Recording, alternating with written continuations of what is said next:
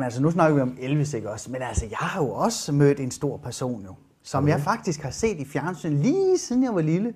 Og det var jo lidt en oplevelse og, og noget en ære for mig at få lov at møde ham. Jeg har så mødt ham en gang i mit liv, øh, da jeg var helt ung, på et diskotek i Skive, hvor han var DJ. Men det var jo selveste Jørgen Demilius. Nå da da da. Ja, Der er du en heldig mand, må man sige. Ja, det, der var jeg meget heldig og meget bedre, fordi øh, det, øh, dengang, at jeg lige så ham, øh, jeg var lige oppe og, og skulle have noget mad og sådan noget, der stod han også deroppe jo. Og så sagde jeg jo til ham, øh, Hej Jørgen. hej Jørgen, kan du kende mig? Så sagde han ja, så ved jeg ikke, om det bare var for høflighedens skyld. Men Han siger ja, uanset Ja, ja, Han det var måske for høfligt- Jeg bliver høflighedens nok nødt til at sige ja. jeg ja, ja, men det, det gør han nok ikke også.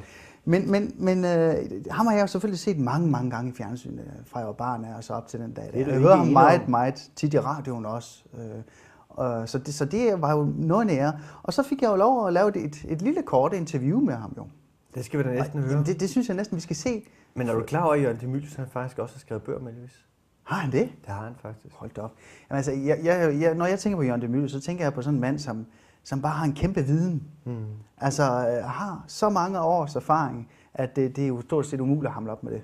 Og så er han altid velforberedt, og jeg Ja. synes, at, at de programmer, han laver på P4, det er altid noget, der er værd at lytte til, når han laver Eldorado, fordi Ja, man nemlig, får ja. så meget viden Mm. øh, ind sammen med musikken. Ikke? Ja, det gør man nemlig. Ja, Men lad os da høre din snak med ham. ja vi skal Eller da se se det. Ja, det er jo et, et rigtig godt minde for mig jo. Så, så kære ser, I kan se med her.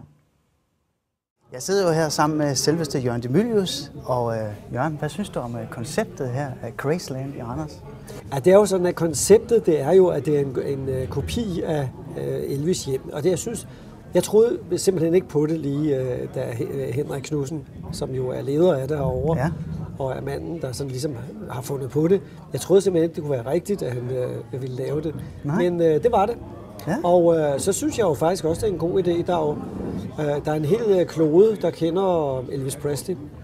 Og Elvis, øh, han er noget særligt øh, inden for... Det er jo ikke for ingenting, han bliver kaldt The King Nej, of Rock. nej, det må man sige. Så jeg synes, at, at det, at man også kan se, hvor det var, var han boede, og man sådan ligesom ærer hans minde og omdømmet af ham, og øh, i det hele taget øh, hans tilstedeværelse som en af de største rocksangere nogensinde. Ja. Det er, det er en fin ting, at, at Henrik gør det, så man ikke nødvendigvis... Jeg synes, det ville være be, øh, godt, hvis man gjorde begge dele, men man ikke nødvendigvis skulle til Memphis i øh, øh, USA for, for at se det. Altså, det er jo en genial idé, må man sige, af ham jo. Ja, altså det synes jeg også. Ja. Altså, det, øh, han har fundet på det på et eller andet tidspunkt. Ja. Og jeg, nu har jeg jo hørt, at Henrik er blevet interviewet i en af mine udsendelser, og der sagde han, at vi, havde, at vi har altid øh, stået og øh, haft en masse forslag sådan oppe og vende.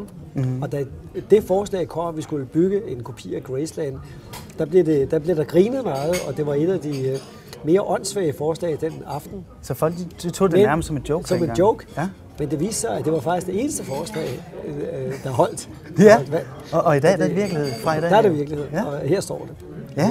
Altså det har været noget af en begivenhed, må man sige jo. Ja, men det er en begivenhed, og jeg synes, at, øh, at det er stort, at der nu også findes en kopi. Altså, der findes jo også en kopi af Tivoli i Japan, Ja.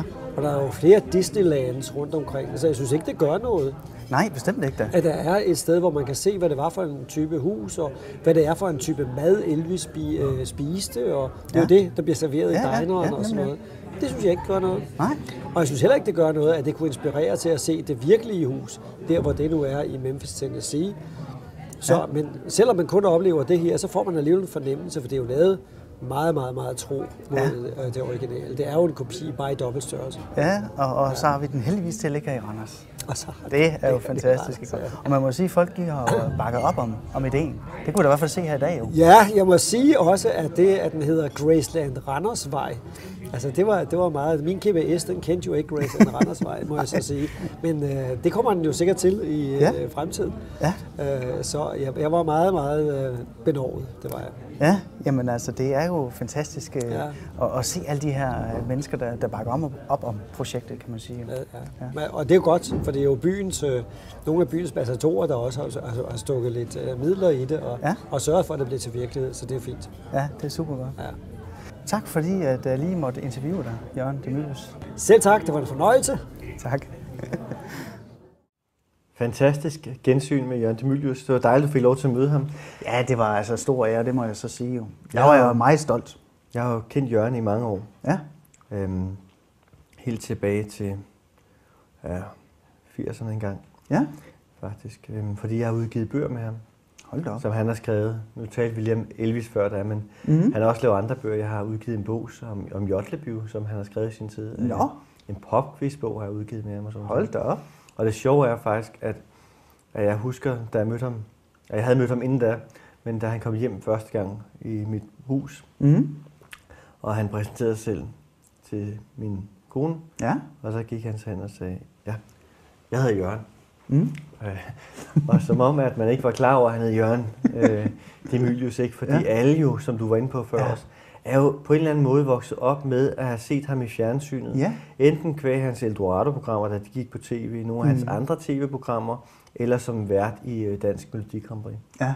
Ja. Så alle ved jo godt, hvem Jørgen Demilius er herhjemme i Danmark, tror jeg. Han er, han er, han er et national klenodie på, øh, på linje med øh, nogle af vores allerstørste øh, skuespillere, Ja. som øh, Paul Rekard for eksempel, Altså, jeg og må Dirch så- Passer. Og Jeg må jo så også sige, at øh, jeg har jo aldrig nogensinde mødt nogen endnu, øh, at når jeg siger Jørgen Demilius, så ved de ikke, hvem det er. Det har jeg faktisk ikke prøvet endnu. Nej, Altså, det må jo betyde, at alle mennesker i stort set ved, hvem han er. jamen, det er rigtigt. Altså, og jeg, jeg kan jo huske ham øh, helt, da jeg var øh, meget lille, ikke også?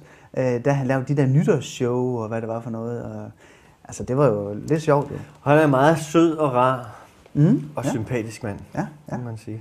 det må man sige. Så det var jo noget stort for mig lige at få lov at, at, at sidde og snakke med ham. Det er det. Selvom det var et kort interview, så øh, var det stadigvæk rigtig godt. Jeg kan godt forstå, hvorfor jeg ikke helt den op til din stjernestatus. Jo. For jeg har jo ikke snakket med Jørgen Demilius i et interview i hvert fald. Har du ikke det?